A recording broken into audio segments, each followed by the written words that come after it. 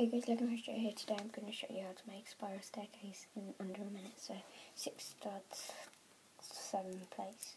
Just put it on the square in the middle, on the whole thing in the middle of each um, base, and then so you do that to each one apart from one. When you don't do it to the bottom. So then you put it on each, the corner two corners up with the two studs like this. So it's almost done.